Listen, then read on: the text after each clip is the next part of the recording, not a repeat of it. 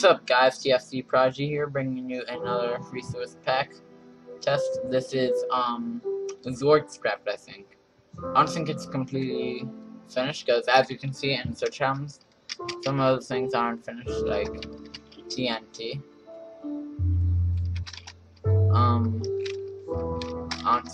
Think either, so yeah. Either that or they just didn't make very much changes to this one, so, and let's cut right in. So here are the pistons and the stick pistons. God damn iron golem, go away. So anyway, here are the rails. Um, the chests. The chest, the trap chest. This one is really noticeable now. The swords.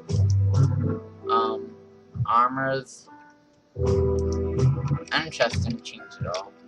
Okay, stone, cobblestone, all the different kinds of stones all the different weeds and leaves, the dirt and vines and ladder, the wools, they look pretty nice.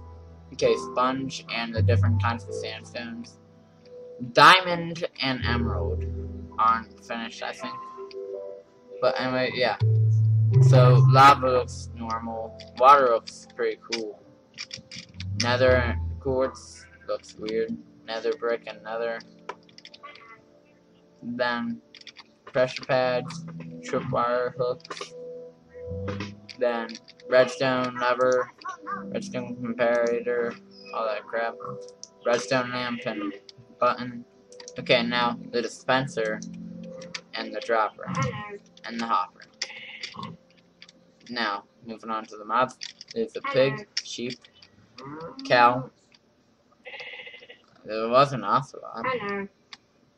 And as you can hear, the villagers are annoying as hell. The the donkey, mushroom, and the wolf is gone too. But anyway, yeah. Hey, look at this guy. He's got a small nose. Okay, that's just annoying. I'm gonna leave that. So anyway, yeah, it's pretty much it for this one.